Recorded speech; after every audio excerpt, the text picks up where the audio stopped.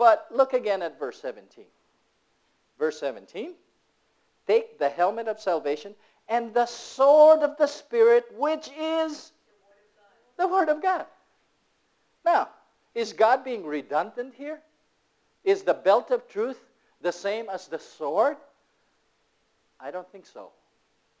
You might argue with me with that. But what's the number one rule of interpreting the Bible? Interpret it in context.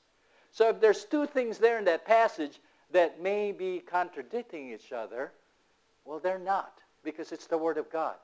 God must be saying something else with the belt of truth. Bible passages are to be interpreted in context, within the paragraph, within the chapter, within the letter, within the Bible.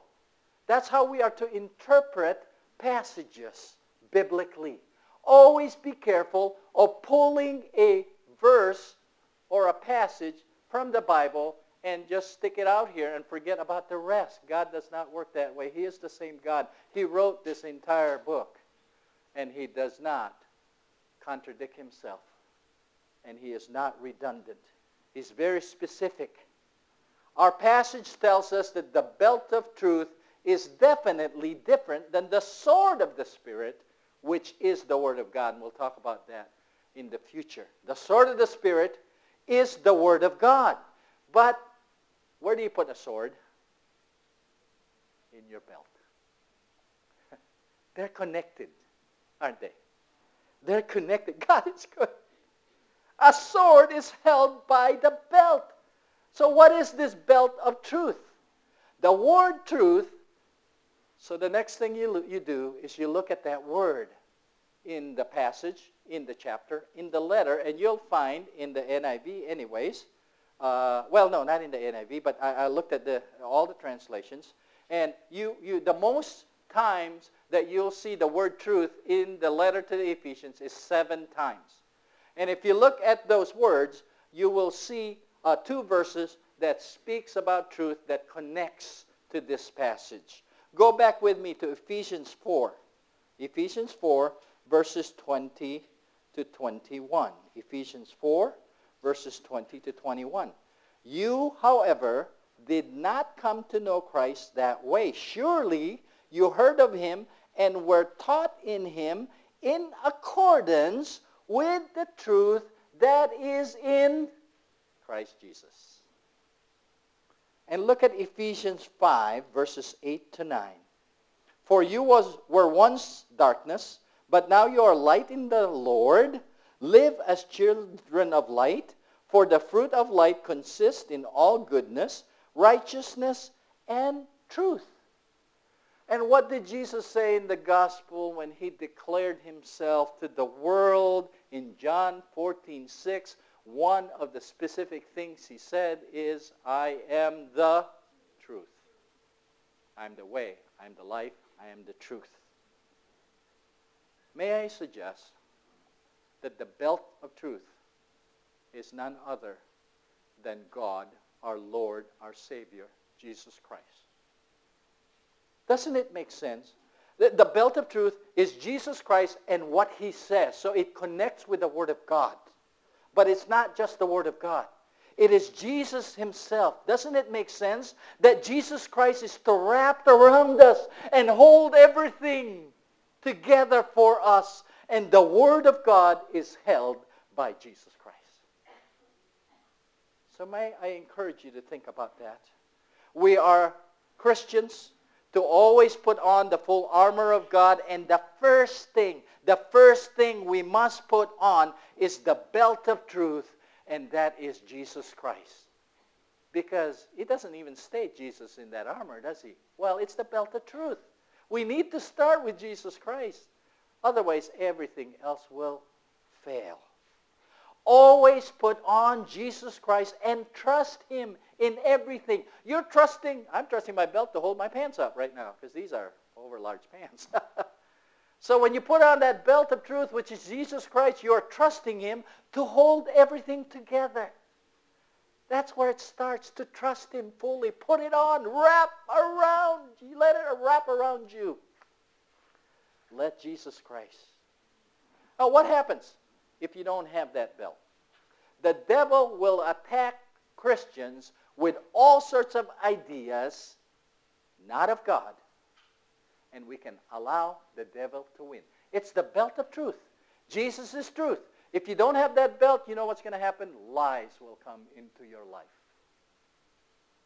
We read in Colossians 2.8, it's noted in your uh, notes there, I believe, the passage, but let me read it to you.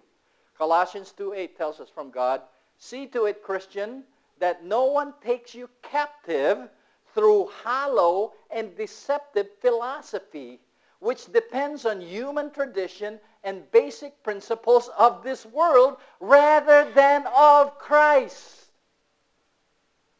Put on the belt of truth, which is Jesus Christ, and you will not allow the devil to attack you and confuse you. Think about, as an example, uh, Rob mentioned evolution, that's one. But sim- simply think about government.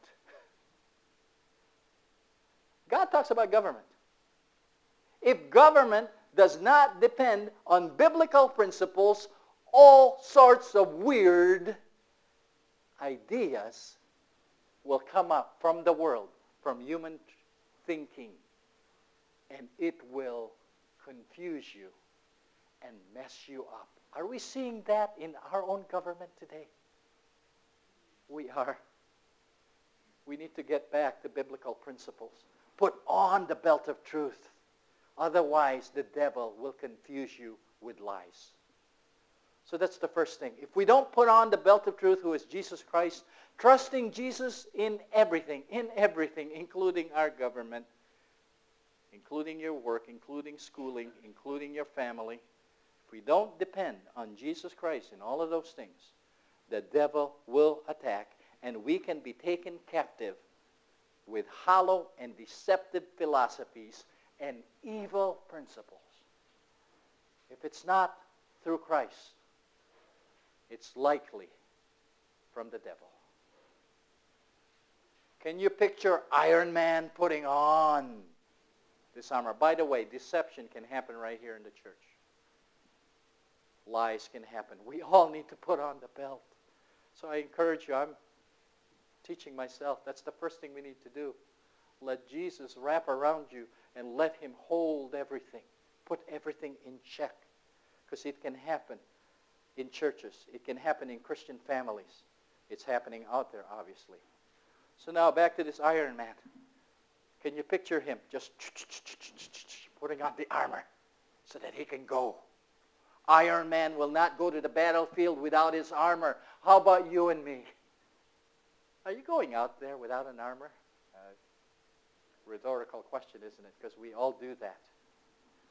Will we go to the spiritual battlefield and the, it's everywhere.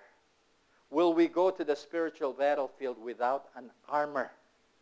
You and I who are Christians are in a spiritual battlefield on a daily basis. We need to put on the full armor of God. Will you make a commitment to make uh, that a priority in your life?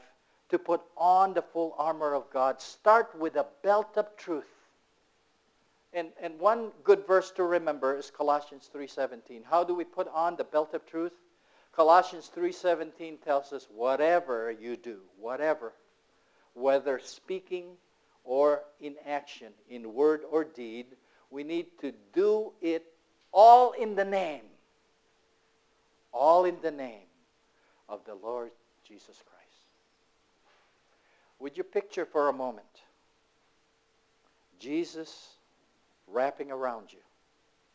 And would you picture Jesus wrapping around you always? And ask him, Lord Jesus, what do you think of what's happening in my life? What do you think about this situation? What do you think about these decisions that I have to make?